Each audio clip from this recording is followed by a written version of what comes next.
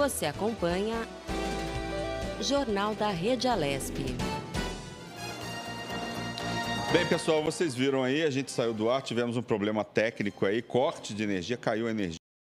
Né, ficou alguns instantes fora do ar. A gente estava aí conversando com, com Eric Belhausen, que é, é CEO do Instituto de Pesquisa, que fala sobre o cinema em tempos de pandemia do coronavírus. O Eric continua na linha com a gente. Ei, Eric, você escuta a gente? Sim, sim, muito bem. Ah, tá. Desculpa aí a nossa interrupção.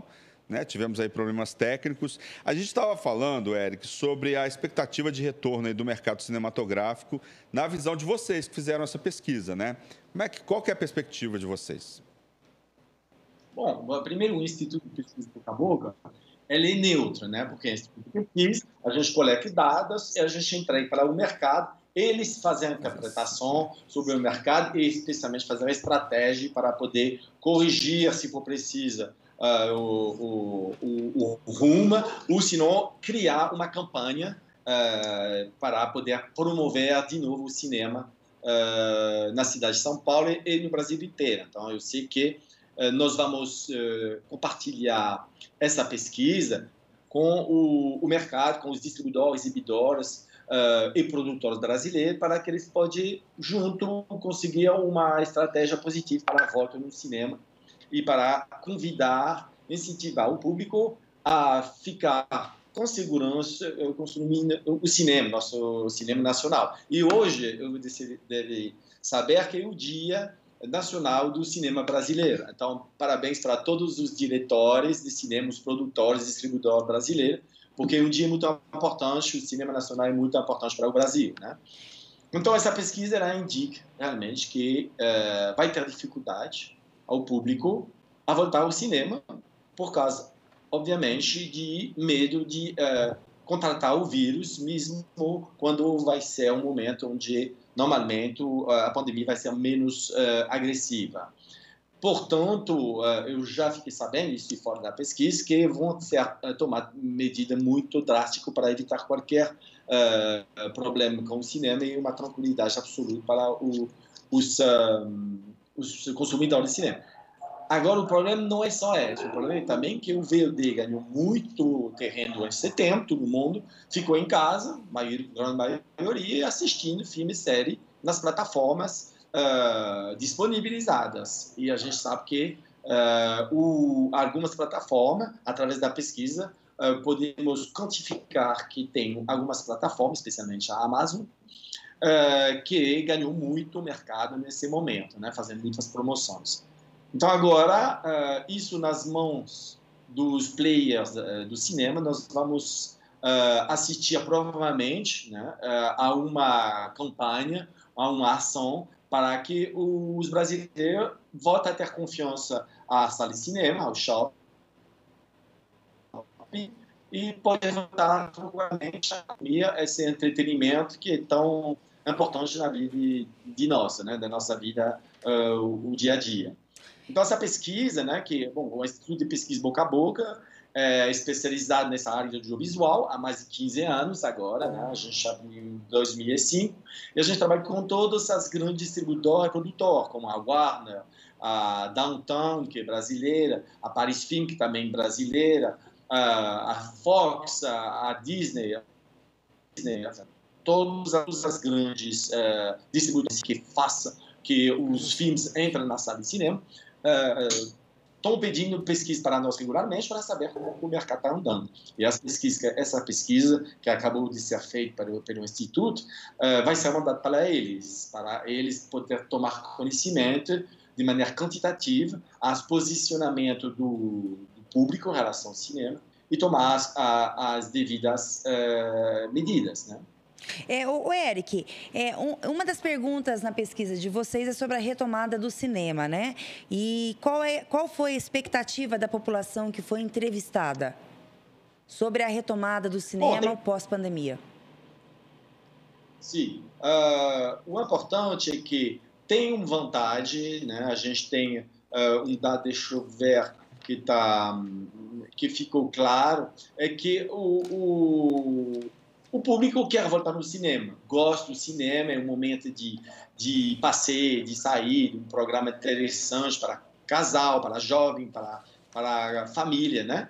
E que isso continua a ser uma, uma prioridade, né? Quando a gente pede qual é o, o, a atividade que você vai querer, que mais faltou durante a pandemia, cinema, eh, bar, restaurante, vem em primeiro.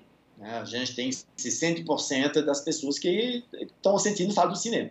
E quando a gente pede quantos, uh, qual é o porcentagem das pessoas, a gente mede qual é o porcentagem das pessoas que querem voltar ao cinema, uh, tem muitas pessoas, mais de 65% das pessoas entrevistadas que estão uh, afim, afim de, de voltar ao cinema. Só que a grande maioria tem como preocupação principal a segurança da saúde deles. Então, sem dúvida, esse é um ponto importante e os cinemas vão ter que adotar medidas muito drásticas para deixar o público tranquilo, para assistir, ir no cinema e assistir com prazer.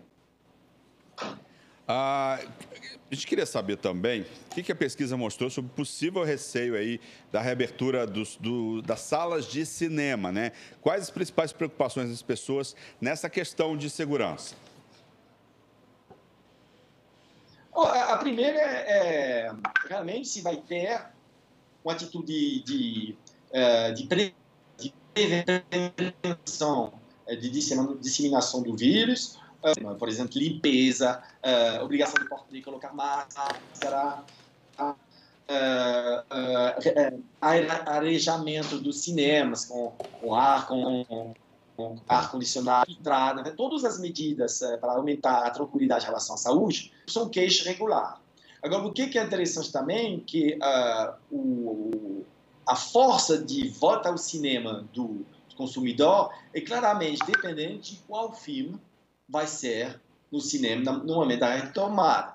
Isso é muito importante e faz parte também da, das pesquisas que a, da pesquisa que a gente proporcionou né, no slide 9, é que, a verdade, a gente tem uh, filmes que são preponderantes, por exemplo, Mulher Maravilhas, A Viúva Negra, uh, as comédias de humor, humor uh, da Marvel, de DC, os filmes nacionais com 4%, são, são porcentagens que são incentivador, tem Mulan também para a família. Então, realmente, o público está esperando um filme forte para sentir a vontade de ir lá com tranquilidade. E provavelmente os distribuidores, imagino, né, que vão focar nessas, nesses grandes estreias para voltar a ter um, uma tranquilidade e no cinema com as medidas que eles vão, vão, tomar. Então, isso é muito importante, eu acho, para, para os distribuidores, vão olhar esses dados com muito carinho, como sempre eles fazem quando a gente entrega uma pesquisa, e, e vão tomar as medidas necessárias, né? porque aqui está claro que o público quer votar no cinema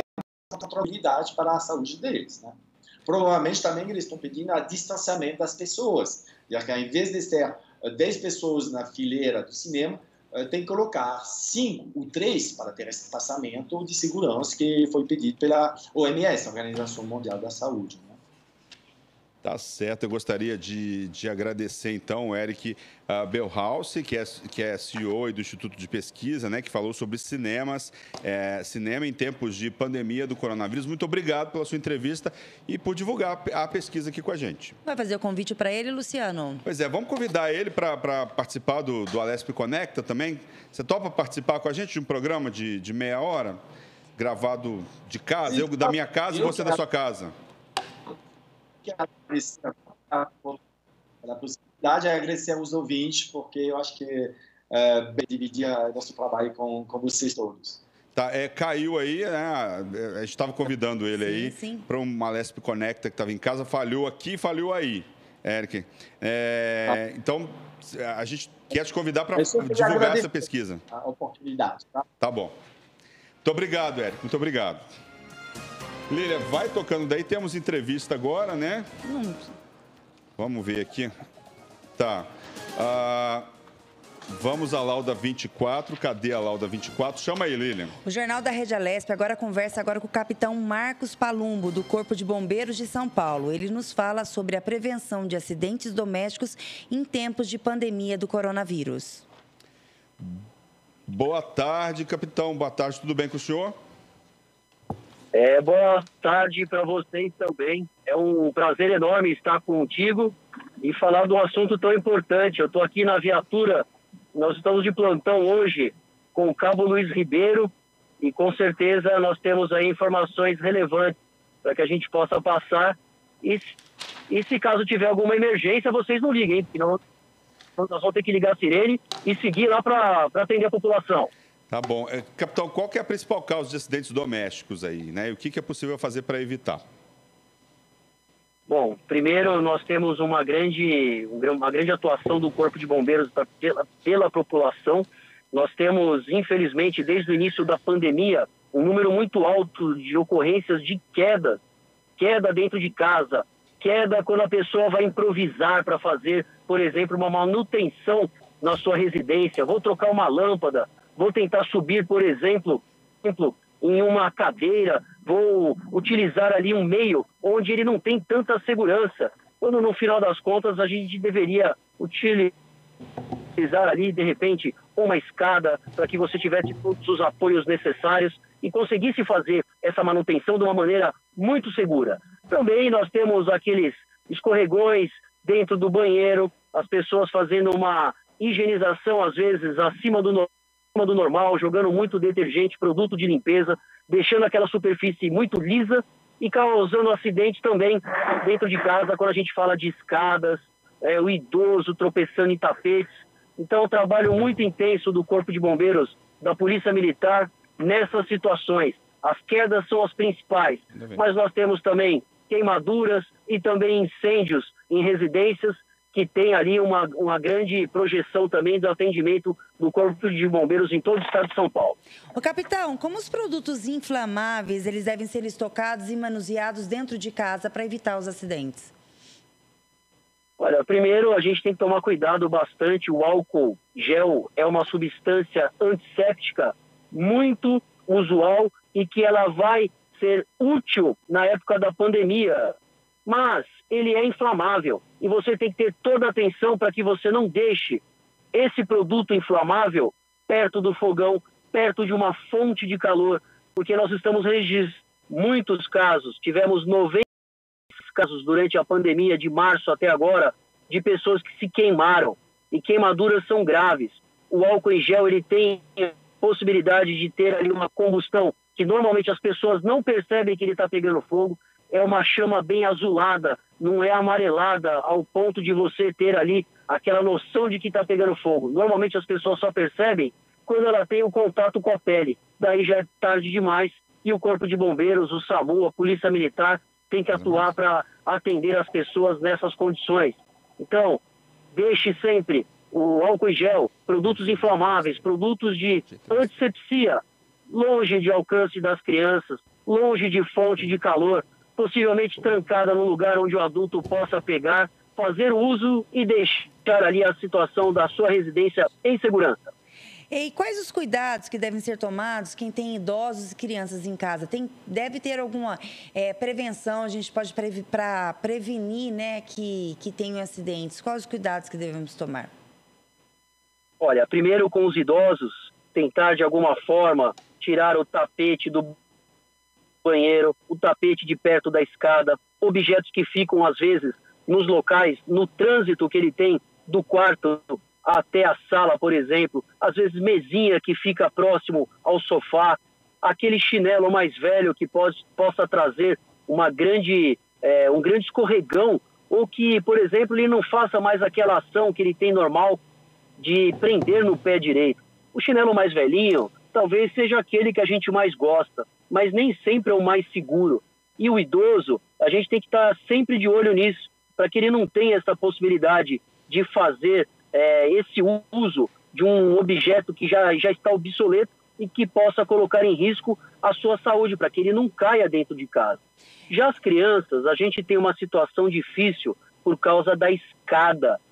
Se possível, coloque aquelas barras na escada onde você não permite um portãozinho o acesso da criança tela, principalmente na janela. Nós já vimos, aí, infelizmente, casos de crianças que caíram, perderam a vida, e a gente entende, não que a criança ela quer cair da janela ou de algum outro local, mas se você afasta puff, sofá, banquinho da janela, a criança não vai conseguir se projetar.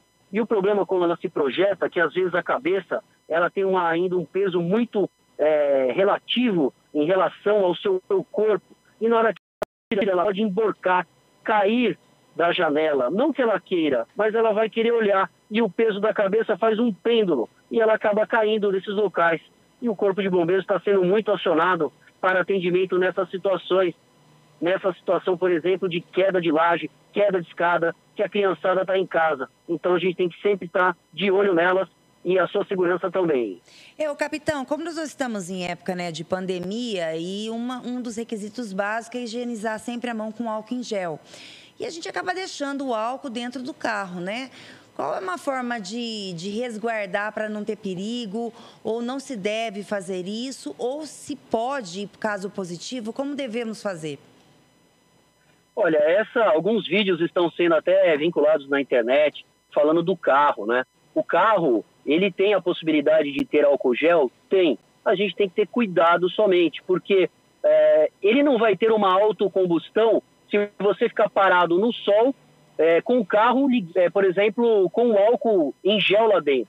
Para que isso acontecesse, teria que ter uma temperatura de mais de 360 graus, algo que é impossível, mesmo se o carro ficar parado no sol o dia inteiro. No máximo, ele chega a 60 graus. Então, uma, uma notícia dessas é meio que fake. Né? O álcool não vai pegar fogo dentro do carro sozinho. E muitas vezes a gente verifica uma ocorrência, por exemplo, onde a pessoa ela acabou é, mostrando lá que o carro estava é, é, acabou pegando fogo, mas não foi por causa do álcool, e sim quando a gente verifica as conexões de equipamentos elétricos, carregadores de celular, cabos que são mais antigos dentro do carro, aí sim ele pode entrar num curto-circuito, ali ter o acesso, por exemplo, numa situação onde o próprio é, o próprio é, curto-circuito ele vai causar ali um incêndio, aí atingir sim o vidro de álcool gel e pegar fogo, mas não do contrário. É, é uma situação que é muito difícil de acontecer, mas ela pode. Então, dessa forma, tente colocar pequenas quantidades de álcool em gel dentro do carro, sempre com o vidrinho tampado. Na hora de sair, desconecte todos os celulares, equipamentos que você tem elétricos, que eles podem ser ali os propulsores do incêndio. Então fica a dica, o álcool gel é excelente para que você use dentro do carro, mas sempre cuidado para que você não exagere na quantidade e nunca deixe o vidro aberto. Essa é a dica do Corpo de Bombeiros, com certeza vai fazer um bom uso do álcool gel nessa impedir a disseminação do coronavírus. Tá bom. A, a, a gente pode uh, socorrer né, uma vítima uh, de acidente doméstico, assim, o que, que pode e o que, que não pode, que o senhor indica, uh, fala para gente. Olha, você lembra do caso, infelizmente, do Gugu, né? Ele acabou caindo na casa dele, lá nos Estados Unidos, teve um trauma considerável. É, por causa disso, houve ali, não, não houve chance de ter uh, um socorro. O que deve fazer se alguém cair dentro de casa, ter uma queimadura, ter um acidente doméstico com incêndio, é ligar imediatamente para o telefone 193 do Corpo de Bombeiros. O telefone de emergência para que a gente possa mandar as equipes para o local, 190 da Polícia Militar de São Paulo, 192 do SAMU. A emergência tem que ser acionada de uma maneira rápida para que a gente chegue no local, consiga fazer o atendimento da vítima, imobilizar a coluna cervical, conter um, uma, uma hemorragia muito grande, conter um ferimento provocado por uma queimadura, fazer uma imobilização na perna, por exemplo, algo que as pessoas em casa não têm essa experiência e também não têm esses equipamentos. Então, se você puder, liga para a emergência, que a gente vai mandar a nossa equipe rapidinho para fazer o socorro, o resgate e a retirada da pessoa e a consequência levando ali para o hospital. Essa sim é a melhor solução. Tá certo, muito obrigado aí pela entrevista, capitão Marcos Palumbo, do Corpo de Bombeiros aqui de São Paulo. Muito obrigado pelas dicas. Um forte abraço a vocês. Disponham do Corpo de Bombeiros da nossa querida Polícia Militar de São Paulo e nós estaremos sempre à disposição da TV Alesp. Tá certo, muito obrigado. Bem, meio-dia e 45. Nessa hora, geralmente começa a coletiva aí do governador João Dória, né? Ah, ele mudou um pouco, era meio-dia e meia, agora meio-dia e 45. Enquanto a gente aguarda aí, vamos, vamos ler um pouquinho mais de notícias. Ó. Em reunião virtual, governador e parlamentares discutem questões relacionadas à Covid-19. Durante o encontro entre o chefe do Executivo e deputados da Assembleia Legislativa de São Paulo, foram debatidas maneiras de frear a pandemia, oferecer melhores condições ao cidadão vulnerável e conseguir uma retomada segura da economia. Vamos ver, a gente já tem imagens aí da coletiva do governador João Dória. Vamos, vamos mostrar um pouquinho aí? Conseguimos? Começou a coletiva. Essa é a coletiva de número 74 do coronavírus, aqui direto do Palácio dos Bandeirantes hoje, sexta-feira, dia 19 de junho. Obrigado também aos cinegrafistas, fotógrafos, técnicos dos veículos de comunicação que aqui vieram e os que estão remotamente também cobrindo esta coletiva. Aqui ao nosso lado, Zé Henrique Guerra, secretário da Saúde do Estado de São Paulo, Patrícia Ellen, secretária de Desenvolvimento Econômico, Ciência e Tecnologia, Marco Vignoli, secretário de Desenvolvimento Regional, Carlos Carvalho, coordenador do Comitê de Saúde, o Centro de Contingência do Covid-19, Ana Carla Abrão, coordenadora do Conselho Econômico, e Dimas Covas, presidente do Instituto Butantan. Temos também secretários de Estado que estão aqui ao lado, não à frente, mas também à disposição, se necessário for, para responder às perguntas.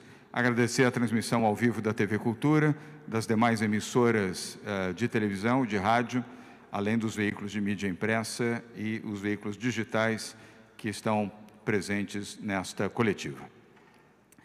Nas mensagens de hoje, a primeira mensagem é de solidariedade.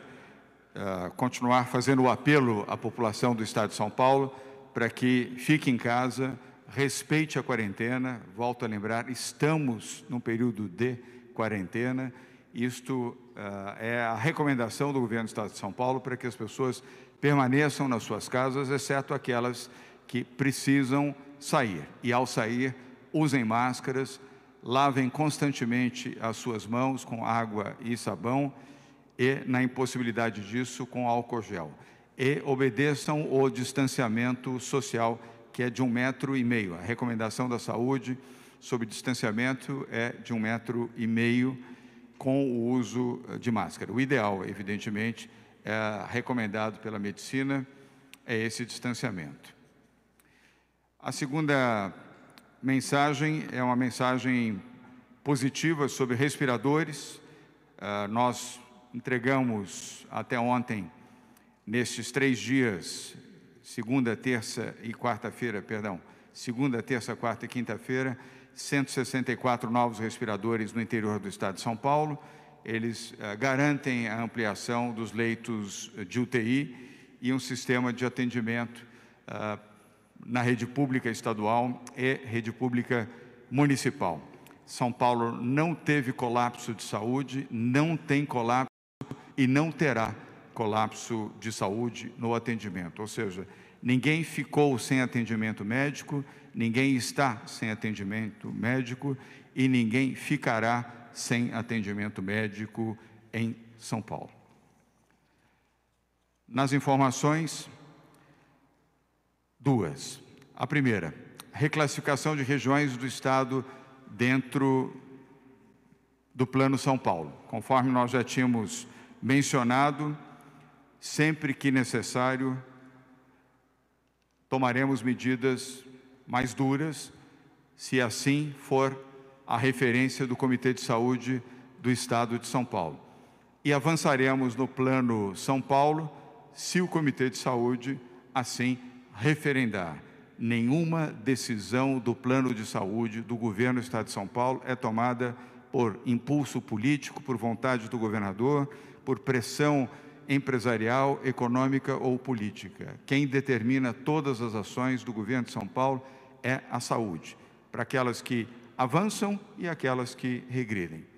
Hoje, infelizmente, temos regressão devido à intensificação da epidemia em algumas áreas no interior do estado de São Paulo. O centro de contingência, o nosso comitê de saúde, determinou a reclassificação de duas regiões dentro dos critérios estabelecidos pelo Plano São Paulo. O Plano São Paulo tem absoluta transparência, ele está no site, todos podem consultá-lo uh, podem uh, acompanhar a sua evolução. diariamente, aliás, podem acompanhar a sua evolução a cada hora, sejam prefeitos, secretários, homens públicos, empresários, comerciantes, jornalistas ou representantes da sociedade civil. O nosso coordenador do Comitê de Saúde, Carlos Carvalho, juntamente com o secretário Marco Vignoli, secretário de Desenvolvimento Regional, e Patrícia Ellen, secretária de Desenvolvimento Econômico, vão apresentar quais são essas duas regiões que terão que dar um passo atrás para salvar vidas e protegerem as suas populações. Eu tenho absoluta convicção de que prefeitas e prefeitos saberão compreender isso de forma perfeita e absoluta. Eu duvido que uma prefeita ou um prefeito de um município queira inscrever no seu currículo que foi responsável por mortes na sua população. Segunda informação, testagem. Por isso a presença hoje aqui do Dr. Dimas Covas, presidente do Instituto Butantan. O governo realiza uma nova fase de testagem com 233 mil exames com a população mais vulnerável do Estado e também com funcionários públicos de serviços essenciais. Dr. Dimas Covas uh, fará essa apresentação com dados e especificações, indicando quais as populações que serão priorizadas nesta nova etapa de testagem em São Paulo. São essas as informações e as mensagens, e agora vamos começando pela saúde, com o Dr. Carlos Carvalho, dentro do que nós já antecipamos da reclassificação de regiões aqui do estado de São Paulo. Logo após, no mesmo tema, Marco Vignoli e Patrícia Ellen. Doutor Carlos Carvalho. Obrigado, governador. Boa tarde a todos. É, completando aí mais um, um período é, de avaliação é, do Plano São Paulo, inicialmente aqui estamos revendo é, o mapa das regiões com as suas devidas classificações, as regiões pelas regionais de saúde é, dos, do estado de São Paulo. Então nós tínhamos é, na semana anterior, que está é, vigente até agora, nós tínhamos a região de Presidente Prudente, Ribeirão Preto e a região de Barretos é, na, no vermelho, o restante do estado no laranja. Próximo slide, por favor. Bom, é, esse é o resultado do fechamento dos dados até o, o dia de hoje. Então, o que fica claro que nós estamos observando é que duas regiões, a região de Marília e a região de Registro, teve um aumento de internações é, significativo. Ou seja, na região de Marília aumentou 51% e na região de Registro 67% o número de internações. Isso aponta para a possibilidade de um excesso para o sistema de saúde, excesso de casos graves, casos precisando de internação. Então, por isso, essas duas regiões, é, neste momento, elas estão classificadas no vermelho. Então, elas retrocederam em relação à situação é, do período anterior.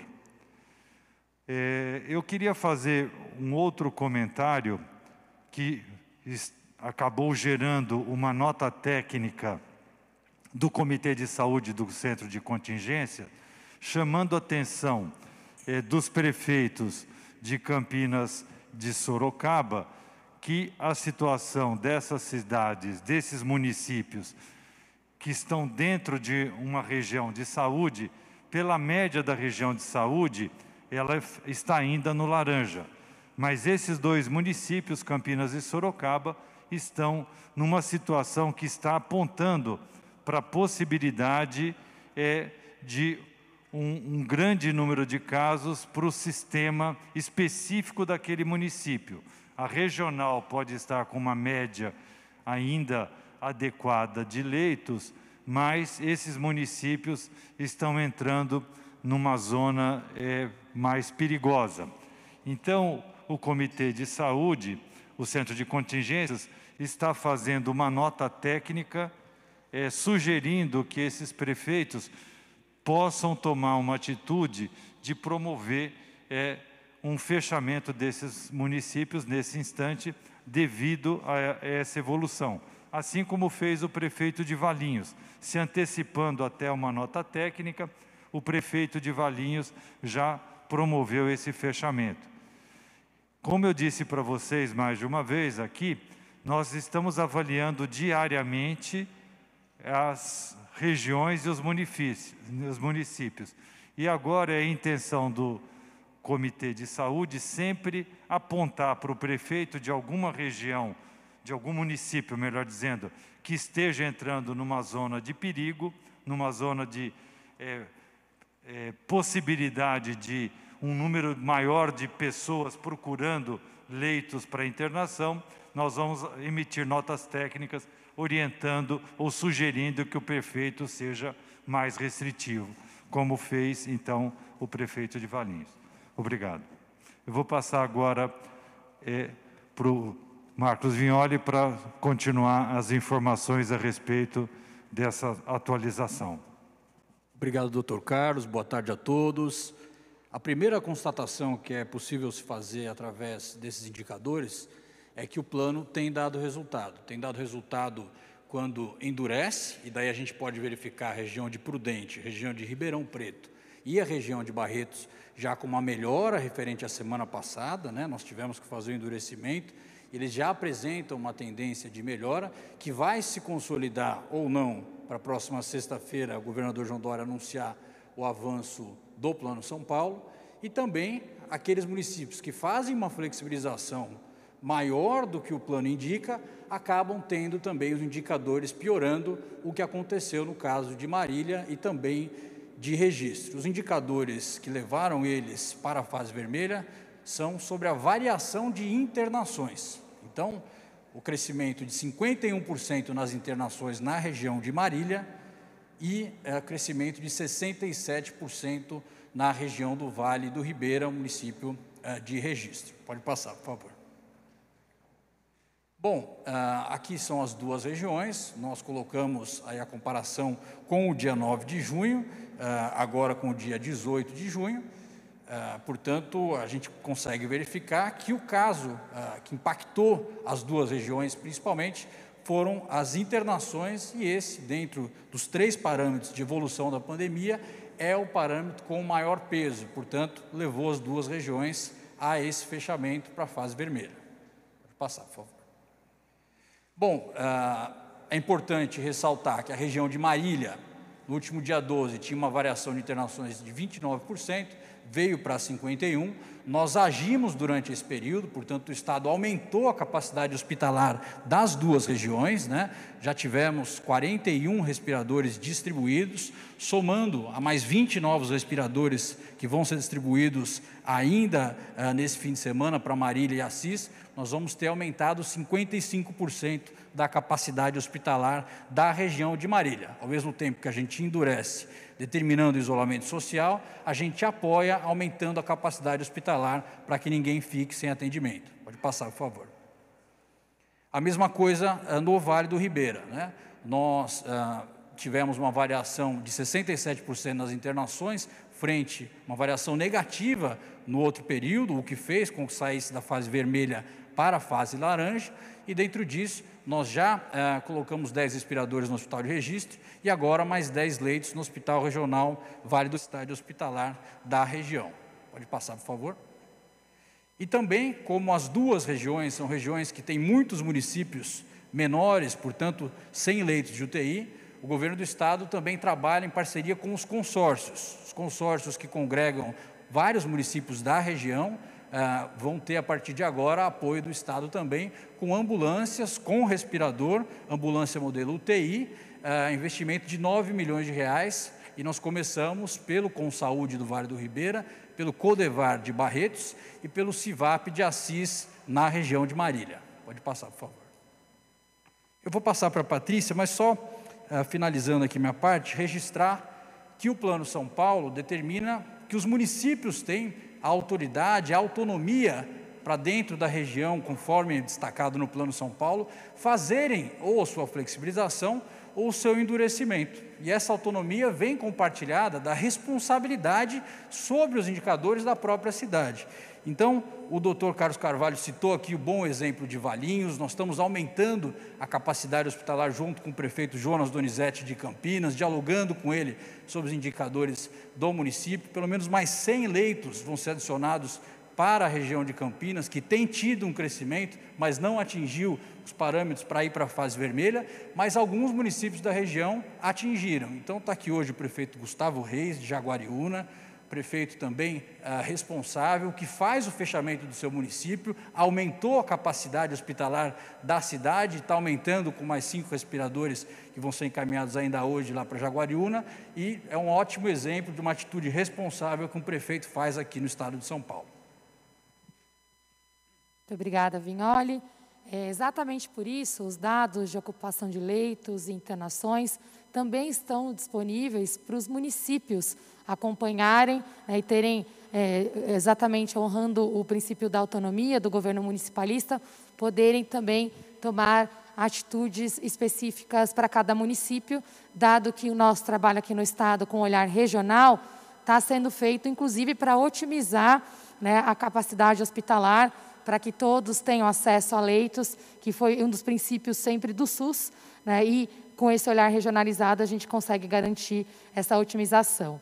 Com o olhar é, completo do Estado, nós estamos mostrando aqui a evolução dos indicadores que são utilizados no Plano São Paulo, semana a semana.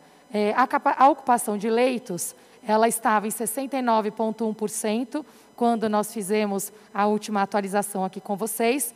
Nós agora estamos com uma ocupação de leitos de 66,5%. Essa é a média do Estado. Lembrando que houve uma piora específica em algumas regiões, como nós vimos aqui, mas no geral nós fomos de 69,1% para 66,5%. Também aumentamos é, muito a quantidade de leitos para atender as regiões que mais precisam, e isso já reflete no indicador geral de leitos disponíveis Covid, foi de 18,1 para 19,1 leitos a cada 100 mil habitantes. O número de casos eu vou pa passar aqui porque a gente viu que está tendo esse ajuste com a correção da base do ISUS.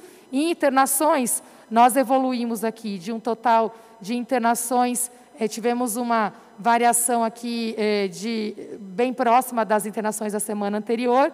Então, nós somos de um total de 13.181 internações na semana anterior para 13.100 internações nessa última semana, né? então foi um acréscimo ali de menos 1%. Em óbitos, nós fomos de 1.584 óbitos na semana anterior, né? a gente está sempre olhando a média corrida, com base na data de hoje, para 1.701 óbitos no total da semana. Passando para a próxima página, é, como fica a nossa atualização extraordinária da classificação, dado a piora em duas regiões. Então, nós temos agora a maior parte do estado permanece na fase laranja, que é a fase de controle, mas nós temos aqui cinco regiões na fase vermelha, que é a fase de alerta, onde nós temos, continuamos com Barretos, Ribeirão Preto e Presidente Prudente. O secretário Vignoli já anunciou que temos uma tendência de melhora aqui nessas regiões, mas nós temos agora também Marília e Registro na mesma situação. Com isso, para finalizar, a gente tem na próxima página a tabela que o Dr. Carlos Carvalho já mostrou, agora com a atualização na última coluna da classificação vigente nesse momento. Gostaria de chamar a atenção que, honrando o nosso compromisso, é, o plano é atualizado a cada duas semanas, mas nós temos endurecimentos quando se julgar necessário. Agora temos uma é, notícia a olhar o todo, tivemos uma estabilização da capacidade hospitalar no estado, então na maior parte das regiões a ocupação média ela está numa classificação entre verde e amarelo, algumas regiões em laranja com os pontos de atenção que já foram mencionados aqui, a destacar a região de Sorocaba e Campinas. E na parte ali de é, variação de internações e óbitos, a maior parte das regiões do estado seguem ali na, na, na fase laranja, mas algumas já mostrando é, uma é, possibilidade, né, vamos ver como vamos evoluir nos próximos dias, para o amarelo, mas gostaria de reforçar o que o governador João Dória já colocou: o Estado permanece em quarentena e nós temos algumas variações importantes regionais que devem ser acompanhadas diariamente. Muito obrigada. Obrigado, Patrícia. Lembrando que a quarentena, atual quarentena, vai até o dia 28 de junho. Uh, vamos agora ao Dimas Covas, presidente do Instituto Butantan. O segundo tema que eu havia uh, anunciado é da testagem, e sobre isso fala o presidente do Instituto Butantan, Dimas Covas. Obrigado, governador. Eu vou apresentar hoje uma nova etapa dos testes no estado de São Paulo. Eu inicio a minha apresentação agradecendo a cinco secretários de Estado que tiveram participação tá, brilhante. O senhor tem uma equipe de primeira, são as pessoas que estão se preocupando com as pessoas mais vulneráveis desse Estado e o trabalho que eu vou apresentar reflete isso. Então, gostaria de agradecer ao secretário de Habitação, na pessoa do Flávio Mari, do seu secretário executivo Fernando Marangoni, que tem trabalhado eh, diariamente conosco, né, fazendo um trabalho que vai ser modelo para o Brasil, não tenho dúvida disso. O secretário de Administração Penitenciária, o Nivaldo César Restivo, e a Solange, né, que tem trabalhado conosco, que é coordenadora de saúde do sistema penitenciário. Parabéns a Solange. Secretário de Desenvolvimento Social, Célia Parnes, e a sua secretária executiva, a, Nayar, a Naira né, que inclusive é, tem se empenhado pessoalmente na realização de algum desses projetos. A Secretaria de Direitos da Pessoa com Deficiência, a Célia Leão, e a Aracélia Costa, que é a sua secretária executiva, e a Secretaria da Saúde, né, através da Marisete Medeiros, que tem trabalhado com o, a saúde nos presídios e na Fundação Casa, a Lígia Soares, que é da população indígena, o Ricardo Tardella, que é o coordenador de projetos, e a Fátima Bombarda, que é coordenadora das redes de unidade de coordenação de projeto.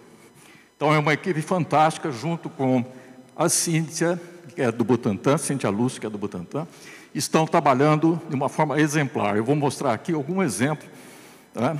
não é o trabalho todo. Próximo.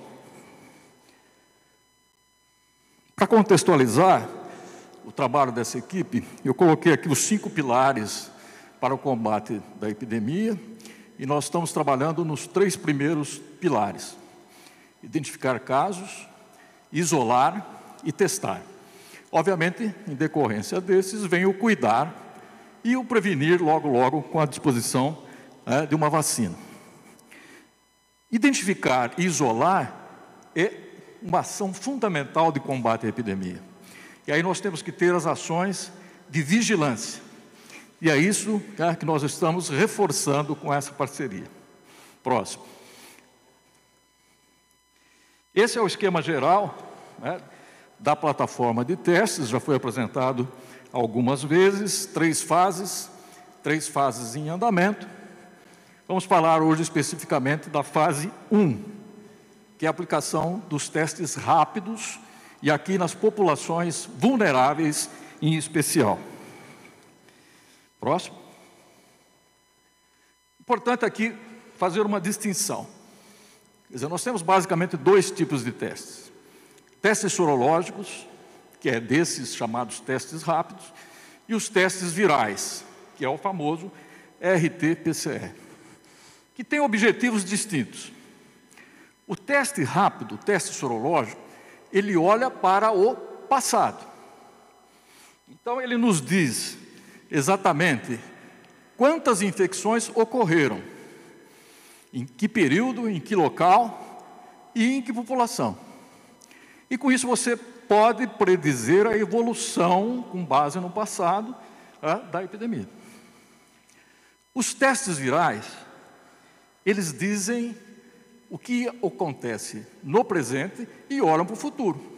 Quer dizer, quantos estão infectados nesse momento? Qual é o tamanho das infecções agudas e, portanto, que estão transmitindo?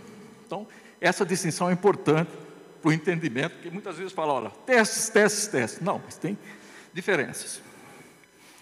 Dentro desse contexto próximo, nós temos os pilotos que envolvem todas essas secretarias. Então, pilotos com a Fundação Casa, já foram é, quatro centros e já se iniciaram quatro centros. A Saúde, HC de Ribeirão e o SAMU aqui do município. Presídios, já iniciamos em Sorocaba, ele deve terminar hoje com 2.500 pessoas. O, as instituições de longa permanência de idosos, fizemos já lá na Casa Francisco Morato, e vamos mais em 18 casas. As aldeias indígenas, que é importantíssimo, uma população vulnerável, os quilombolas.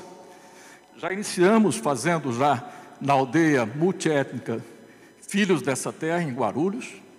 A segurança, que como a saúde também está na linha de frente, eu não mencionei o secretário de Segurança, o general Campos, tá, por falha, né, mas eu menciono agora. Tanto na capital como no interior, tá, e aí todas as suas parcelas. E as comunidades, principalmente as comunidades periféricas dos, grandes centros urbanos. Iniciamos um estudo piloto na comunidade de São Remo, e eu vou apresentar um pouquinho mais de detalhes, porque é muito interessante. Próximo. Essa é a evolução do número de exames feito pela plataforma de diagnóstico desde o dia 9 de abril, quando ela foi constituída. Então, hoje nós já passamos né, de 200 mil testes, e em vermelho ali tem o número de testes por milhão de habitantes. Então, veja o salto que foi dado aí em dois meses. Próximo.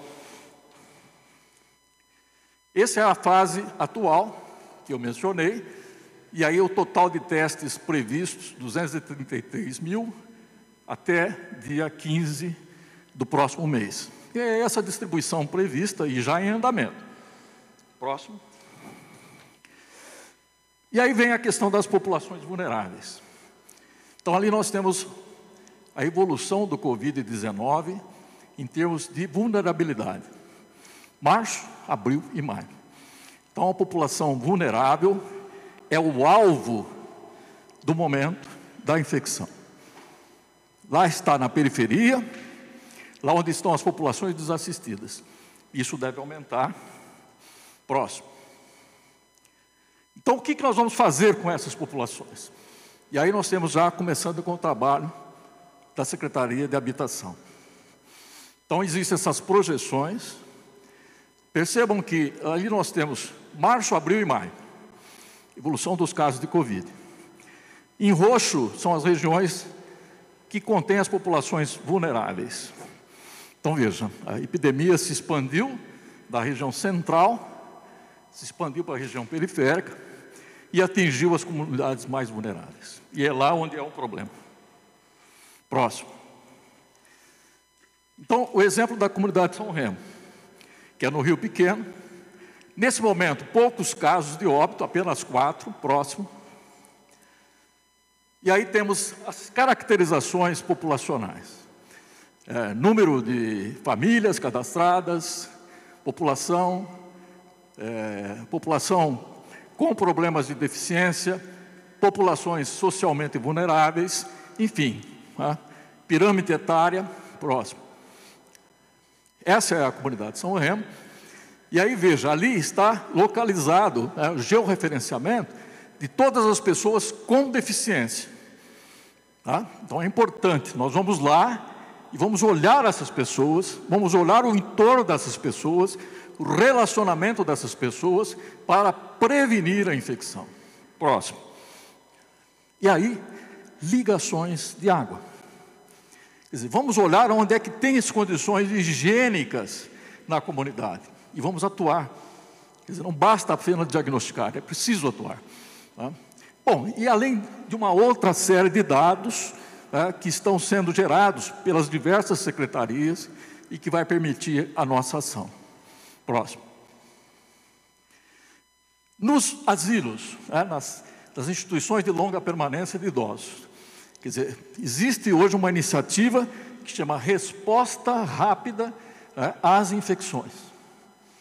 Nós temos duas unidades nesse momento que vão nos locais onde existem surtos e populações vulneráveis. Asilo. Tem um caso no asilo, nós vamos lá. O ideal é que não, não tivéssemos casos em asilos, mas eles acontecem. E quando acontece, nós temos que ir rapidamente para conter esse caso. O mesmo nas prisões, o mesmo na Fundação Casa e o mesmo nas populações mais vulneráveis. Tá? Então, esse é um exemplo de material que acompanha as nossas ações, especificamente para idosos. Próximo. Indígenas. Fomos aí nessa aldeia indígena e tivemos a grata surpresa de encontrar né, é, uma pessoa especial, estudante de, de serviço social, é, com essa camisa maravilhosa. Né, e agradecemos desde já a toda a comunidade é, que estava presente e contribuindo efetivamente é, para a realização dos testes. Então, Butantan, nesse final, agradece as pessoas que confiaram na rede de resposta rápida e acertaram participar desses pilotos que definirão o futuro do combate à epidemia para essas populações. Obrigado, doutor Dimas Covas, presidente do Instituto Butantan. Antes uh, de passar ao doutor Zé Henrique Guerra, secretário da Saúde, para os dados de hoje, uh, vou pedir ao doutor Carlos Carvalho que faça ainda uma menção sobre o futebol. Ontem foi o tema, um dos temas uh, importantes aqui da nossa coletiva. Hoje temos um fato adicional que será relatado pelo coordenador do Comitê de Saúde do Estado de São Paulo, Dr. Carlos Carvalho. Bom, é, o tema futebol sempre ele é, traz emoções, né? Bom, é, ocorreu um, uma discussão por parte da, da Federação Paulista de Futebol com os clubes, com os departamentos médicos dos clubes e com o é, Comitê de Saúde do Centro de Contingências. E eles apresentaram um aprimoramento do protocolo que incluía uma solicitação para, entre esse período de 22 a 30 de junho, é, se iniciassem os testes de pesquisa PCR para o vírus e pesquisa sorológica para poder caracterizar na população de todo o staff que estivesse, que é, vier a ser é, participante desses, dessa fase de treinamento, para que essas pessoas pudessem ser testadas a partir de agora. Também eles apresentaram um, um, um projeto de individualização é, dos treinos, principalmente na parte de avaliação dos atletas. Então, esses atletas precisam ser avaliados, porque eles estão há cerca de 90 dias sem realizar preparo físico. Esses testes são fundamentais para que o departamento de fisiologia dos clubes eh, faça o preparo, o condicionamento físico desses atletas e os clubes vão se organizar nesse período para realizar os testes, é, avaliar os atletas, iniciar o preparo físico para poder, a partir de 1 de julho, iniciar o treinamento.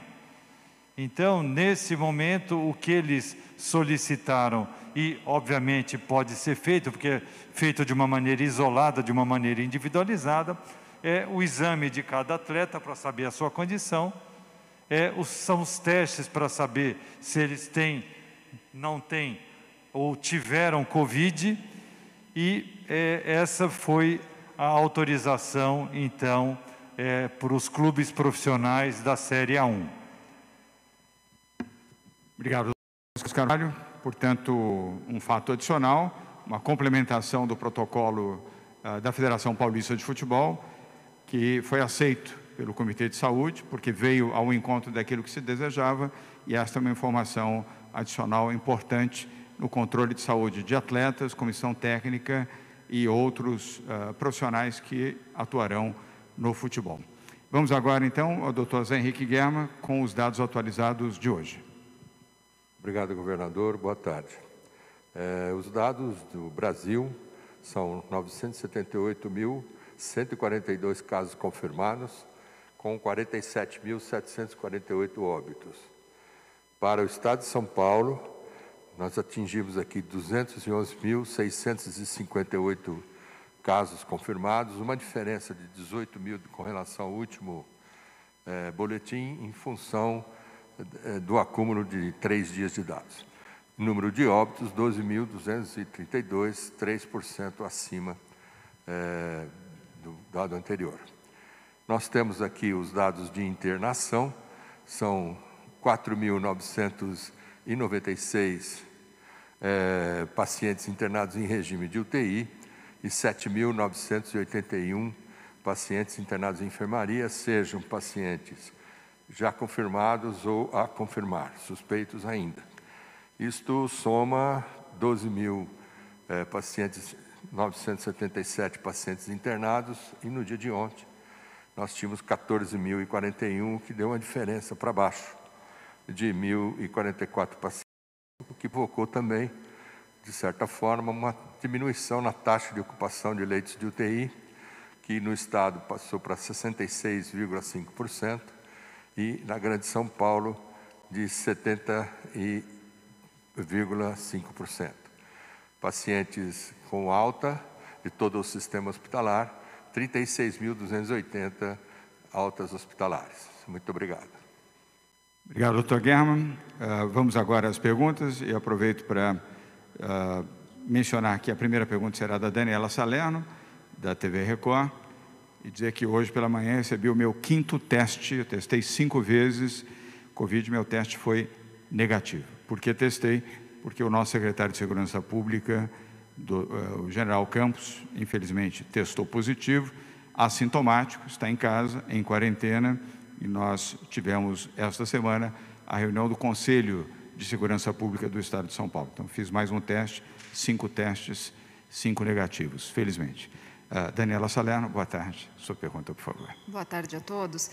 Minha pergunta, a primeira pergunta são duas pequenas perguntas, é a respeito da testagem. Eu gostaria de saber, principalmente do Dr. Dimas, se a gente tem um raio-x dos pacientes daqui de São Paulo.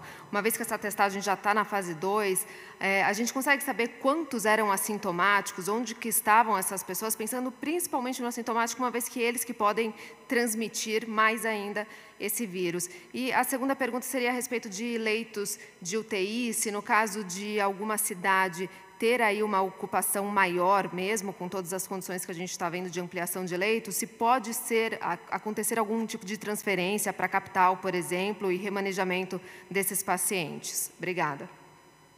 Obrigado, Daniela. A primeira pergunta será respondida, obviamente, pelo Dr. Dimas Covas, presidente do Instituto Butantan, a segunda pelo Dr. Guerma e, eventualmente, com um comentário de um dos integrantes aqui da bancada, se necessário for. Dr. Dimas. Bem, obrigado. Veja, o teste, como eu mencionei, que está sendo feito em massa, é o teste sorológico. Né? O PCR ele, está, ele aumentou muito o seu número. Hoje a rede de laboratório ainda está com capacidade né, para receber mais exames. Né? Os municípios estão se organizando para mandar esses exames. Já temos, inclusive, ajudado outros estados. Recentemente fizemos um, uma parcela de exames para o estado do Mato Grosso. Com relação aos testes sorológicos, eles mostram as pessoas que já tiveram contato, dizer, não que estão com a infecção. Né? Então, essas populações é, especiais, e o grande estudo que nós fizemos foi na Polícia Militar, o primeiro, que a, Polícia Militar é considerada população de risco. Ela está no enfrentamento direto e em contato direto com as pessoas. Né? Então, na população que foi estudada, foram mais de 70 mil policiais e seus familiares nós tivemos uma prevalência em torno de 18% de indivíduos que já tiveram contato. Então, isso deve ser a parte mais alta da curva de infectados. Quer dizer, o que ocorre na população sempre abaixo do que ocorre na, na Polícia Militar, do que, que ocorre na população da saúde. Isso aqui no município. No interior, a velocidade da epidemia foi diferente, e então tem um exemplo interessante. A própria Polícia Militar do interior né, não tem nem 5% de pessoas que já foram infectadas. Então, isso varia da região, por isso que eu mostrei no slide, que depende da região e depende do tempo. Tá? Mas é mais ou menos esse o panorama. Obrigado, doutor Dimas. Doutor Guerra, sobre os leitos de UTI. Pois não. É, mês de abril, nós colocamos aqui que nós trabalhamos em rede, temos 17 regionais trabalhando em conjunto, e naquela ocasião foi necessário que a gente transferisse 15 pacientes para a área do interior. Hoje, esse está estabilizado. Se algumas das regiões que eles trabalham, é, como eu disse, em rede, e pode haver transferência de pacientes dentro de uma regional, ou entre regionais vizinhas ou conurbadas, ou então para uma região de um hospital regional maior. Tudo isso depende muito do, da avaliação local, especificamente para um dado paciente. E a busca do, do leito se faz através do CROSS, que é o sistema de regulagem do Estado de São Paulo. Obrigado, doutor Guerra. Daniela, obrigado pelas perguntas. Vamos agora para o SBT. Fábio Diamante. Fábio, boa tarde. Sua pergunta, por favor. Boa tarde, governador. Boa tarde a todos. Governador, são duas, duas perguntas. É, ainda que os números se mostrem mais estáveis em São Paulo, a gente tem percebido de domingo para cá um certo um aumento no número de casos e a gente estava trabalhando com aqueles números com a subnotificação do Ministério da Saúde, para a capital paulista especificamente. É, em relação aos números também hoje, a gente teve um número grande de óbitos, né? 386 e 24 horas, muito próximo do recorde de 389. Queria saber se isso sai da projeção que os senhores estão fazendo ou se é, o tempo ainda é muito curto para poder tirar alguma conclusão. E uma segunda pergunta, é, em relação a Campinas e Sorocaba, a nota do comitê para que as, os prefeitos tomem essa iniciativa. Queria saber como está a relação com os prefeitos, os dois prefeitos especificamente, se eles já foram comunicados e em caso disso não ser uma atitude é, dos prefeitos, se o Estado tem ainda alguma outra carta na manga, inclusive de levar o caso para o Ministério Público para que é, a medida do, é, sugerida pelo comitê seja cumprida. Obrigado. Obrigado, Fábio. Primeira pergunta sobre aumento de casos, responde o secretário da Saúde, José Henrique Guerra, com comentários da Patrícia Ellen. A segunda, Campinas Sorocaba, o doutor Carlos Carvalho, com comentários do Marco Vione. Guerra. É, desculpe. É, nesse sentido, tanto o número de casos, que teve agora este aumento, né, como vocês viram, como o número de óbitos, estão dentro do da nosso cenário para os próximos 15 dias a partir da última é, quarentena. Então, dentro disso, nós estamos em óbitos principalmente na faixa inferior do espectro e para o número de casos na faixa, na borda superior do número de espectros. Então, não fugiu e também nós temos que acompanhar isso dia a dia para ver esse comportamento ao longo do tempo.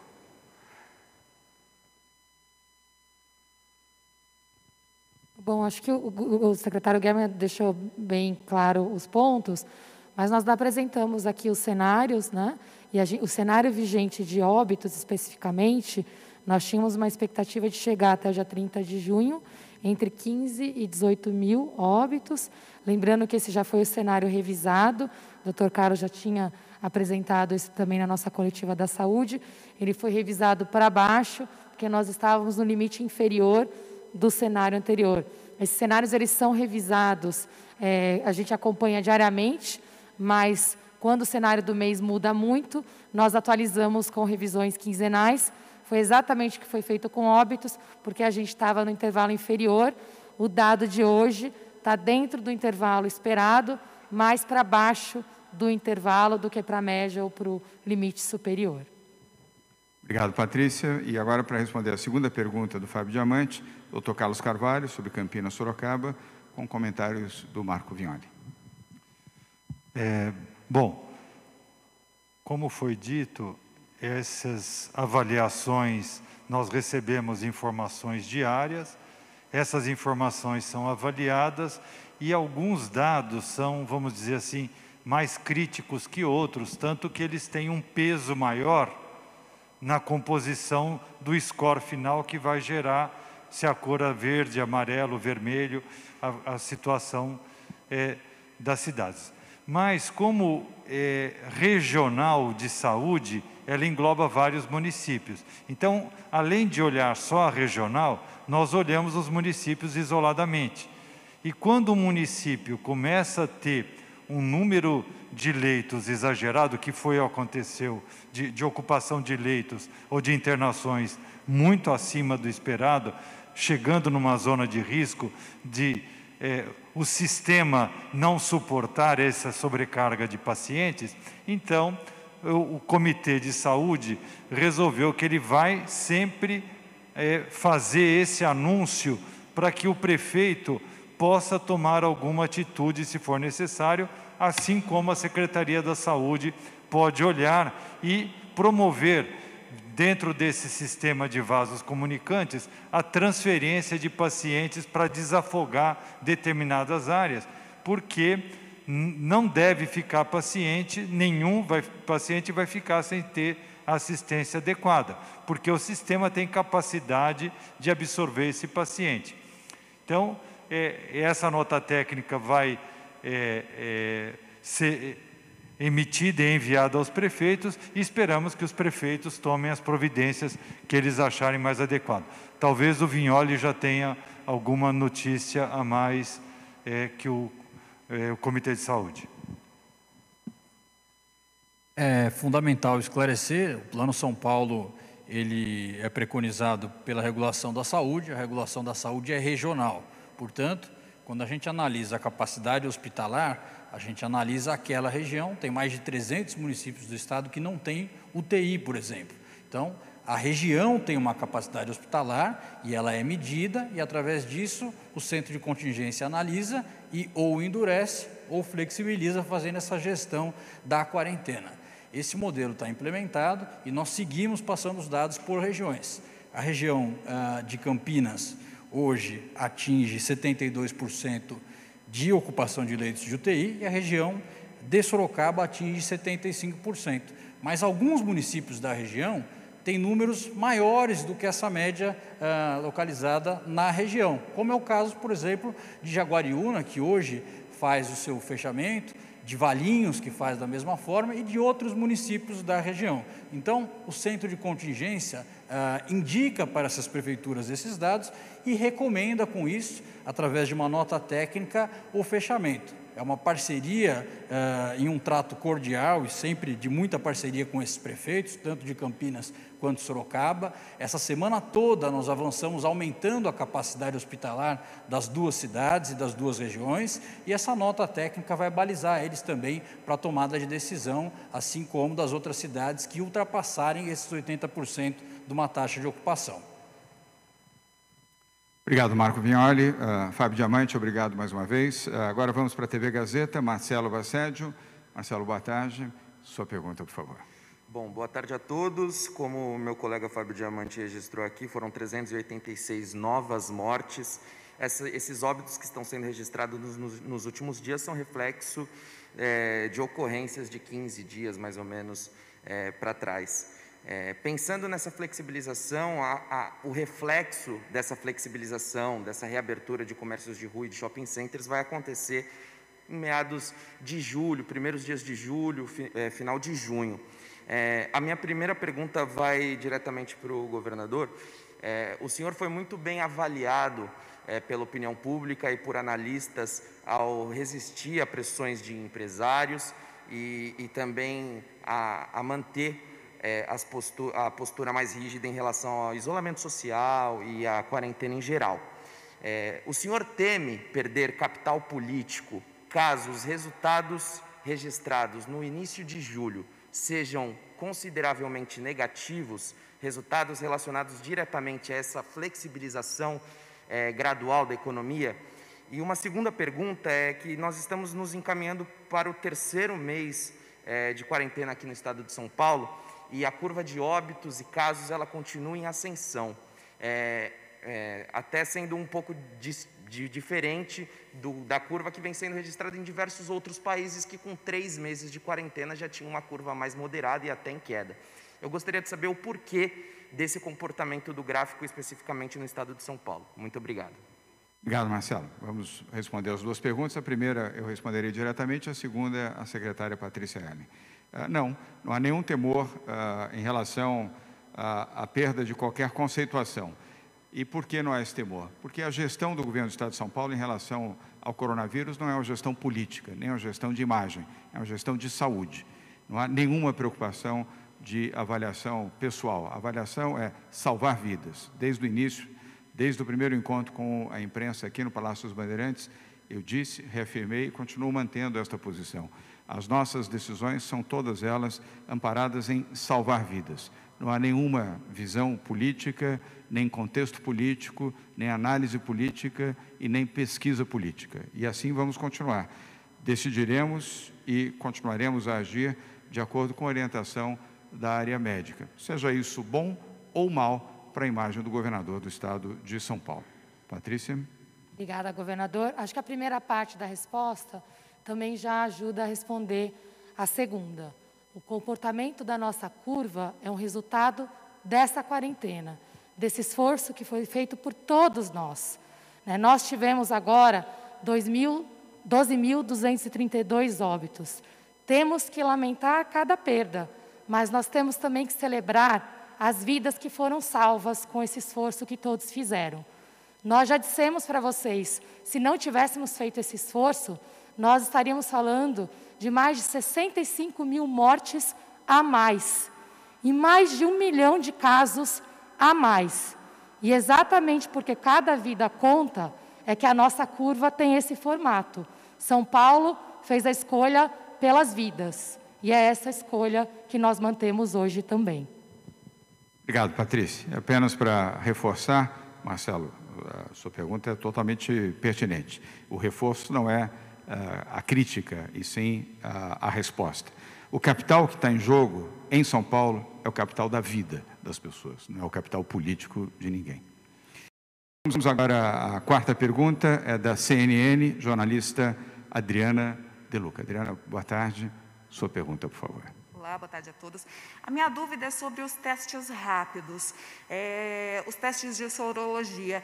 Qual que é a assertividade disso? Eu sei que teve alguns decretos para saber a duplicidade, se não está tendo duplicidade, porque a nossa apuração é de 26% dos novos casos são, vieram desses testes rápidos. Quais vão ser as medidas para evitar essa duplicidade? Esses, esses testes não estão ajudando essa curva subir de contágio? Quais são as medidas do, do governo sobre isso? Obrigado, Adriana. Vou pedir ao doutor Teste. O doutor Teste chama-se Dimas Covas para responder a sua pergunta. Dimas. É, governador, às vezes o senhor teste vacina, às vezes o senhor teste. Né? Então, nós vamos vestindo o chapéu aí de acordo com a necessidade e o senhor que tem comandado. Veja, o, o teste rápido, como eu mostrei, é uma fotografia do passado. Quer dizer, é o que já aconteceu. Né? A fotografia do momento é o PCR. Né? Então, essa é a estratégia de você avaliar a epidemia. Agora, o passado, ele nos diz é, quantas pessoas foram infectadas, né? quantas estão protegidas e quantas ainda serão suscetíveis à infecção. Então, quanto menor o número de pessoas infectadas, maior é o potencial de crescimento da epidemia. Né? Então, existem muitas cidades do interior, por exemplo, que essa porcentagem de pessoas já infectadas ainda não chegou a 5%. E, portanto, existe um grande contingente de pessoas suscetíveis. Daí a necessidade de manutenção da quarentena. Quer dizer, essas pessoas estão suscetíveis, ou seja, elas podem adquirir a infecção. E aí, se não forem mantidas, é, como o decreto é, pressupõe, a quarentena, essas pessoas vão se expor, vão se infectar. Né? Então, a medida de controle ainda é a quarentena. Quer dizer, a quarentena está em vigor. Bem. Obrigado, doutor Dimas. Uh, Adriana, obrigado pelas perguntas. Vamos agora ao Vitor Moraes, da Rádio Jovem Pan. Vitor, boa tarde. Sua pergunta, por favor. Boa tarde, governador. Boa tarde a todos. Deixa eu só arrumar aqui o microfone. A minha pergunta é com relação ao setor econômico. É, a abertura de empresas até abril, não, em abril, perdão, a abertura de empresas no Brasil caiu 30%. E São Paulo é o estado que tem mais empresa, empresas no país, total de 5 milhões. Nos primeiros quatro meses desse ano, São Paulo registrou a abertura de quase 300 mil empresas. A minha pergunta é: ainda é cedo para traçar um panorama para o real impacto no ambiente de negócios em São Paulo e se o governo está caminhando para. For... Governo não, mas se há uma estratégia para uma formação de um ambiente mais dinâmico nesse setor. Obrigado. Bem interessante sua pergunta, Vitor. Eh, eu começo a responder e eh, vou pedir a Patrícia Ellen e Ana Carla Abrão para complementarem.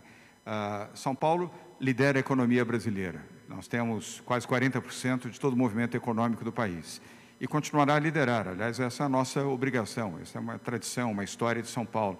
Foi assim em 2019, quando crescemos 2,9% no PIB, enquanto o Brasil cresceu 0,9%. Desse 0,9%, 0,60% foram contribuições do Estado de São Paulo uh, no PIB do país. Uh, e a nossa projeção uh, para 2021, 2022 é nós retomarmos gradualmente, evidente que não teremos o mesmo índice do que obtivemos em 2019, mas estimular muito a atividade empreendedora, portanto, vamos ter um crescimento no número de registros de empresas e uh, também estimular fortemente a entrada de capital externo, seja nos programas de desestatização do Estado, com PPPs, concessões e privatizações, seja através de investimentos diretos em atividades uh, do agronegócio, do comércio, da indústria, do setor de serviços, tecnologia, educação e ciência, entre outros setores. Portanto, uh, bastante pertinente a sua pergunta e agora a complementação uh, será feita pela Patrícia Ellen e pela economista Ana Carla Abrão. Obrigada, governador. Nós estamos atuando em monitorar as perdas que já foram realizadas. São Paulo hoje tem em torno de 32% das perdas eh, em PIB, é, que é exatamente mais ou menos o que a gente também representa da parcela do PIB nacional. E isso nos surpreendeu até positivamente, se você for pensar que geralmente a gente tem impactos tanto positivos como negativos mais intensos, mas a gente manteve nas perdas o percentual do PIB. E parte da resposta veio exatamente pelo teu comentário. A gente está tendo uma atividade de abertura de empresas é, bastante positiva. Né? Abril teve uma queda, então a gente teve aqui um número de abertura um pouco menor, em maio já teve uma retomada, só nas empresas que são abertas e passam pela junta comercial. Em maio foram mais de 10 mil é, empresas abertas. Né? Em abril, que tinha sido o nosso menor mês, foi um pouco acima de 6 mil empresas abertas. A gente está monitorando também a abertura líquida e, complementando o governador, uma parte do crescimento vai vir das grandes empresas, da infraestrutura, do turismo, da, agricultura, mas a gente tem que lembrar que 50% dos empregos gerados no nosso estado vem das micro e pequenas empresas. E nós estamos atuando exatamente nessas micro-reformas, em parceria com o secretário Henrique Meirelles, e traremos nas próximas semanas reformas adicionais, além das que já foram divulgadas. Nós colocamos mais de 650 milhões em crédito e microcrédito, através do Banco do Povo e da Desenvolve São Paulo. Hoje, no dia de hoje, nós temos 50 milhões disponíveis na linha de crédito em parceria com o SEBRAE, e temos ainda bastante folga para quem estiver interessado aplicar para essa linha, tá, através do site do Banco do Povo, e estamos atuando nas microreformas para melhorar o ambiente de negócios, facilitar a abertura de empresas e uma série de outras reformas que estão sendo trabalhadas em parceria com Henrique Meirelles e serão divulgadas nas próximas semanas. Obrigado, Patrícia. Ana Calabrão. Boa tarde a todos. É, eu acho que o, o, ponto principal aqui, assim, primeiro, nós estamos vivendo, do ponto de vista global, a maior crise econômica é, de todo, toda a história. Né? Não, não, existe queda no PIB é, nessa magnitude e nessa velocidade em nenhum outro evento econômico histórico que se tenha notícia. Então, de fato, é um momento que é um momento extremamente é, delicado e custoso do ponto de vista econômico no mundo, e no Brasil, as expectativas de mercado giram aí em torno de 7 a 10% de retração no PIB este ano. Mas o ponto principal é que a recuperação ela depende fundamentalmente da crise, do enfrentamento à crise de saúde. E São Paulo, ao lançar o plano, teve como objetivo justamente fazer a gestão dessa crise, a gestão dessa quarentena, de forma a compatibilizar as questões econômicas com a prioridade que é o atendimento de saúde e a contenção da, da epidemia. Então, o que nós vemos hoje é que toda a gestão do plano, que vale lembrar, e aí até pegando o gancho da pergunta anterior, é uma gestão baseada no gradualismo, na transparência, no dinamismo e na resposta de acordo com indicadores muito objetivos, ela visa justamente a, a minimizar todo o impacto econômico que nós já estamos vivendo e garantir que a recuperação venha de forma gradual, mas de forma sustentada. E a transparência é muito importante para isso, porque mesmo nas idas e vindas da flexibilização ou das, das, medidas de isolamento, a previsibilidade, a capacidade de acompanhar a evolução tanto da capacidade hospitalar quanto da epidemia, são fundamentais para que a atividade econômica possa antecipar esses movimentos e se preparar para esses movimentos que nós sabemos faz parte desse processo, um processo que seja gradual, mas que seja um processo de idas e vindas, como a gente inclusive viu hoje em algumas regiões do estado. Então acredito e o Conselho Econômico ele contribui nessa direção ao justamente monitorar esse processo, contribuir com ideias e com sugestões nessa fase de resposta, justamente garantindo que todas as medidas sejam na direção de compatibilizar a necessidade que nós temos de uma recuperação econômica que seja o mais rápido possível, mas o mais sustentado possível. E o Plano São Paulo ele, ele traz justamente essa combinação, essa compatibilização. Adicionalmente, como o governador colocou, existe, e o Conselho Econômico está participando disso também de forma contributiva, um plano que vem na segunda etapa, que é justamente a etapa de recuperação. E eu não tenho dúvidas que esse plano, que está sendo liderado pelo ministro Meirelles, em conjunto com a secretária Patrícia Ellen, ele visa também alavancar a maior economia brasileira, que é a economia de São Paulo, com uma gestão eficiente, com uma gestão em parceria com o setor privado, para que a gente possa religar esses motores e trazer o dinamismo que é o dinamismo de São Paulo, contaminando a economia brasileira como um todo. Então, o Plano São Paulo, a gestão da quarentena, o sucesso no enfrentamento dessa crise, são os fatores preponderantes que certamente vão levar, e já estão levando, são Paulo a ultrapassar essa crise, a enfrentar essa crise de forma eficiente, com resultados que nós temos certeza vão ser muito positivos, uma vez que a gente tenha essa crise é, debelada, essa crise enfrentada e superada. Obrigado, Ana Carla. Uh, Vitor Moraes, uh, obrigado pelas perguntas. Vamos agora, uh, é a antepenúltima pergunta, ela é virtual, da VTV, SBT, Luciana Moledas. Luciana, boa tarde, você já está em tela. Sua pergunta, por favor. Olá, boa tarde, governador, boa tarde a todos. É, como já foi dito na coletiva, Campinas vai receber uma nota técnica em relação principalmente às questões de leitos de UTI. A cidade recebeu novos respiradores, fez uma contratação com o Hospital Metropolitano para ampliação desses leitos, mas existe uma questão judicial que não conseguiu fazer essa ampliação. E eu gostaria de saber, principalmente até com o Marco Vignoli, é, se existe algum plano de uma nova ampliação dos leitos estaduais, aproveitando também para perguntar um pouquinho da Baixada Santista, a cidade de Santos é a que mais testa, mas as outras cidades do entorno não têm essa capacidade de testagem. Se o governo também pretende fazer uma ampliação da testagem nas cidades do interior e do litoral. Obrigado, Luciana. Vou dividir as respostas com o Marco Vignoli e no tema da testagem com o Dr. Dimas Covas. Vignoli. Sobre a região de Campinas, sim, eu quero aproveitar e ressaltar o excepcional trabalho que o prefeito Jonas Donizete tem feito, aumentando o número de leitos em Campinas, Mário Gatti, as UPAs, o Estado, paralelamente, aumentando os leitos na Unicamp, também eh, no AME, né, colocando como hospital Covid, e dentro disso nós estamos trabalhando mais leitos para Campinas e para a região. Serão 100 novos leitos e a nossa nosso trabalho é para poder anunciar na segunda-feira aonde serão esses leitos. Existem várias possibilidades em Campinas e em municípios vizinhos, mas os respiradores já estão reservados, vão para Campinas e nós vamos ter esse aumento consistente.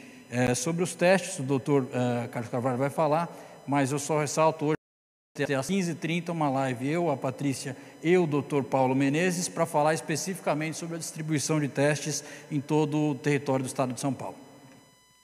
Luciana, como boa repórter, você já conseguiu um furo, novas informações para a região, novas e boas informações para a região de Campinas. Antes de passar ao doutor Dimas, vou aproveitar aqui a proximidade, pedir a Patrícia Ellen para falar também sobre testes, e aí vamos ao doutor Dimas para completar a resposta. Vou terminar de dar o furo, então. É, a gente vai distribuir, são 250 mil kits, kits de testes para as prefeituras, exatamente para estimular e acelerar o processo de testagem.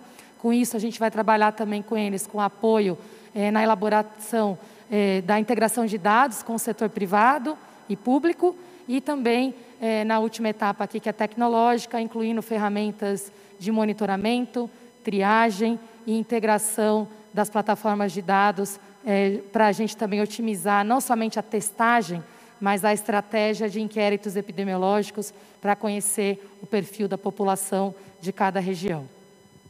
Obrigado, Patrícia. Doutor Dimas? Bem, é uma importante pergunta a sua. Quer dizer, né, eu tenho que voltar a bater na tecla do teste. Quer dizer, teste rápido, esses que estão sendo feitos em massa em muitos municípios, é o olhar do passado. Quer dizer, ele por si só não tem importância se não estiver acoplado à vigilância em saúde. Quer dizer, quando a pessoa vai fazer o teste, é a oportunidade de ouro de nós conversarmos com essa pessoa, obtermos os seus dados e perguntarmos se ela teve sintoma, se ela não teve sintomas ou se ela está com sintoma. Então, nesse cenário, os testes são importantíssimos.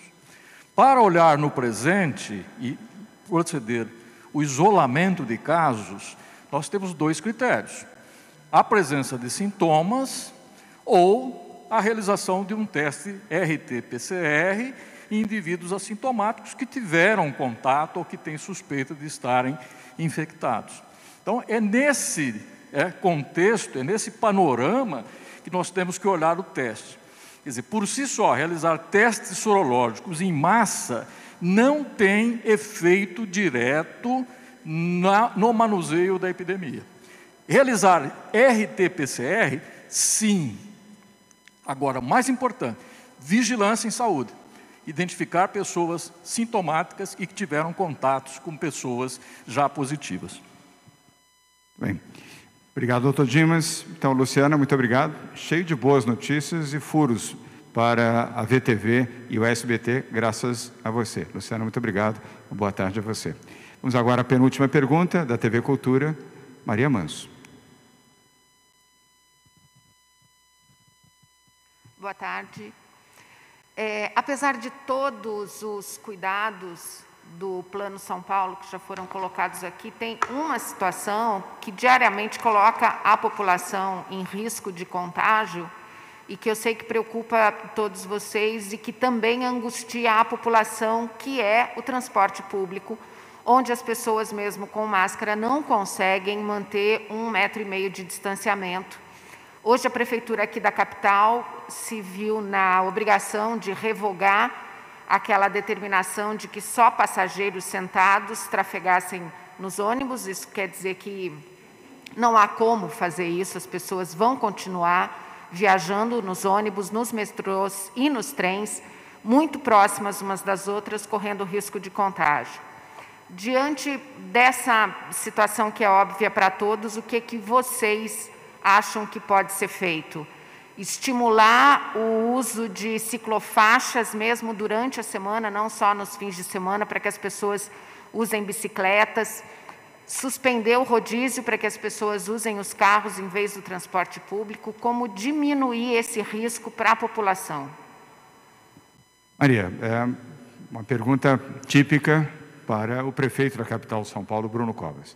É, o Bruno provavelmente estará já semana que vem, alguma das coletivas aqui conosco, ele está se recuperando bem uh, da Covid e poderá abordar esse assunto. Você tem razão, é um tema significativo e importante. Estimular o uso de ciclofaixas para aqueles que têm bicicleta e já são usuários é um bom caminho, sim.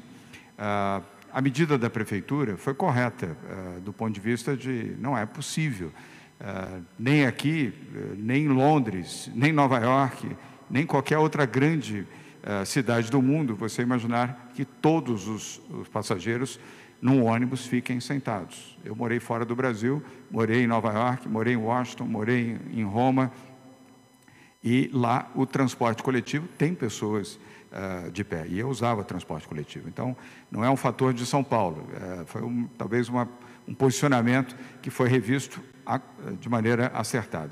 Muito importante é que todos estejam usando máscaras e usem e abusem do álcool gel sempre. Se puderem utilizar ciclofaixas, melhor.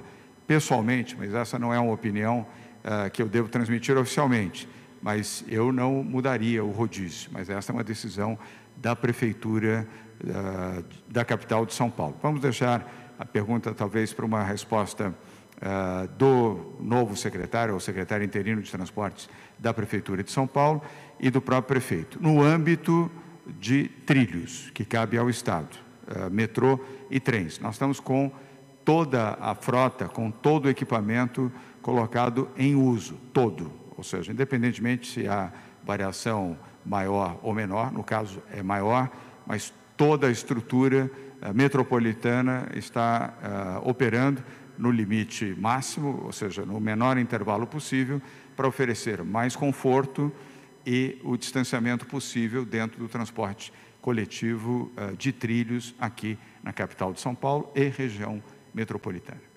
Obrigado, Maria. Vamos agora à última pergunta. É para você, William Cury.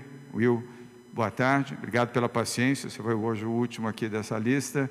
Sua pergunta, por favor. Tirei aqui. Pode, pode, pode Boa segurar tarde, o microfone. tudo bem? problema. Boa tarde. Quando foi apresentado o Plano São Paulo, todos esperavam que fosse um plano progressivo de, de avanços de fase, mais do que retrocesso de fase. A, a gente teve algumas regiões que tiveram que voltar, e o governo já alertava sobre isso, que poderia ter que voltar sem nenhum tipo de problema mas nós tivemos na última semana um aumento do número de, de novos casos de forma mais acelerada novamente. Tinha dado uma certa estabilidade e agora voltou a crescer de forma mais acelerada. Queria saber se isso pode ter relação com a, o início do Plano de São Paulo, de duas a três semanas atrás, e uma continuação ainda. Nas projeções, o pico de internações devem ocorrer ao longo das próximas duas semanas. Né? Observando o Plano São Paulo, a expectativa é que haja uma abertura maior do que está ou um fechamento em relação ao que está? Obrigado. É a ansiedade normal uh, de um bom jornalista, como é o William Cury. É difícil uh, fazer previsões com antecedência, por isso que o Plano São Paulo e o Comitê de Saúde atuam visualizando diariamente o movimento, índice de ocupação de UTIs, uh, índice de isolamento social na Grande São Paulo, no interior, na capital de São Paulo, uh, o, o, próprio movimento de infecção uh, e, obviamente, o índice de óbitos. Tudo isso é feito diariamente e, aliás, com absoluta transparência. Os dados estão no site e muitos, aliás, os jornalistas consultam diariamente, aliás, mais de uma vez. Então é muito difícil fazer projeções, como é difícil também dizer se isso tem ou não vinculação com uh, o programa heterogêneo do Plano São Paulo. Nem mesmo os números positivos nós podemos dizer que tem uma vinculação direta com o Plano São Paulo. Tudo isso são fatores de observação de médio prazo e não de curto prazo, viu? Mas, Patrícia Ellen, se você desejar complementar a questão, a resposta à questão do jornalista William Cury, por favor. Eu vou responder com um pouco de dados, Will. Se a gente comparar a fotografia do nosso último anúncio do Plano São Paulo para a fotografia agora, eu estava olhando aqui enquanto né, eu estava refletindo sobre a sua pergunta, a gente vê que em ocupação de leitos, A gente está com o nível de ocupação, é, apesar da média ter reduzido e a gente levou respiradores, né, o esforço dos respiradores fica claro, é, a gente tem um número um pouco maior de regiões agora é, em laranja, né, mas ao mesmo tempo a gente tem um número maior de regiões em amarelo. Então, antes a gente tinha muitas regiões em verde, né, e a gente viu que é, algumas é, é, melhoraram, outras pioraram. A gente está com uma mistura aqui, mais uma preocupação focada em municípios específicos, que trouxe essa nota técnica do centro de contingência, para a gente poder dar um passo além, né, junto com os prefeitos. Na parte de internações, a gente vê que houve uma, é, uma melhora, vocês viram ali no dado, né, o número total de internações dessa semana é muito parecido com o número total de internações da semana passada. Mas, como o governador colocou, o Plano São Paulo foi feito para a gente tomar a decisão, a melhor decisão da semana. Foi um acordo que nós fizemos aqui com a sociedade, né, de sempre honrar o compromisso com as vidas e ter uma quarentena heterogênea, mas também intermitente. E eu acho que é importante a gente entender esse ponto. Né. Eu gostei muito da tua abertura. O Plano São Paulo não é um plano de abertura, é um plano de gestão e convivência com a pandemia. Para a gente caminhar mais rápido, é muito importante que todos colaborem. E o que a gente está percebendo é que as regiões que estão melhorando mais são as regiões que estão respeitando mais o plano. E algumas regiões que pioraram, não é regra, mas algumas que pioraram, elas não estavam seguindo as regras do plano. Abriram setores a mais, abriram é, com duração de horários a mais. Então é muito importante a gente seguir aquele momento para que a gente possa sair mais rápido. Então, a síntese é: a gente está fazendo o nosso melhor aqui, trazendo os dados e evidências e tomando as decisões de forma transparente, seguindo os critérios, sempre da saúde, mas a gente precisa que todos façam a sua parte também, para que a gente consiga é, ter um plano que só melhore daqui para frente. Concluindo, uh, Will, a sua boa pergunta, o governo do Estado de São Paulo uh, tem um tratamento técnico e muito profissional em relação ao coronavírus, desde o dia 26 de fevereiro, quando tivemos o primeiro caso de coronavírus constatado aqui na capital de São Paulo. E uh, a visão profissional e técnica, primeiro, é de estar afastado de qualquer decisão de ordem política. As decisões, repito, são todas de ordem técnica. Técnica no âmbito da saúde, principalmente, que é o balizador de tudo, e técnicas também no âmbito social, de proteção aos mais pobres, aos mais humildes e desfavorecidos, e principalmente os novos desempregados que surgiram depois desta pandemia, e técnica também do ponto de vista econômico. Por isso que o Plano São Paulo ele é muito bem estruturado e ele é reavaliado diariamente. A situação mais fácil é não ter um plano, é deixar correr ou radicalizar e manter tudo fechado, imaginando que as pessoas ficarão uh, presas nas suas casas, majoritariamente apenas porque houve esta determinação. O mais difícil é fazer um plano bem elaborado, bem estruturado, no âmbito da saúde, no âmbito técnico, o olhar social e as ações sociais e o olhar econômico também, como é o Plano São Paulo. Por isso é que tem cinco fases, por isso que ele é tão detalhado e por isso que ele é tão uh, revisado uh, diariamente em função dos resultados e do comando da saúde. E assim vamos prosseguir. O que nós podemos afirmar é que estamos no caminho certo. Ter feito, elaborado e estar implantando o Plano São Paulo é o melhor caminho. Então, Will, obrigado pela pergunta. Quero desejar uma boa tarde a todos os jornalistas que aqui estão, técnicos, cinegrafistas, fotógrafos, aos que estão em casa também nos acompanhando, desejando que, por favor, fiquem em casa, aproveitem o final de semana para permanecerem nas suas casas, com seus familiares, seus filhos, seus pais, as pessoas mais queridas e se protejam também. Se tiverem que sair, usem máscara, lavem as suas mãos, usem álcool gel. Um bom fim de semana a todos, fiquem com Deus, muito obrigado. É isso aí, você acompanhou a entrevista do governador João Dória, do governador João Dória, né? Muitas perguntas falando aí sobre essa questão da, da, da abertura econômica, né? Nesse momento, a gente está aí no, no, pico da pandemia, quer dizer, é uma questão que tem que ser, ser vista aí de acordo com o número de leitos, né? Muitas perguntas sobre isso aí durante a entrevista coletiva. Nós vamos agora para um rápido intervalo e a gente volta já já com o Jornal da Rede Alesp. Fique por aí. Você acompanha Jornal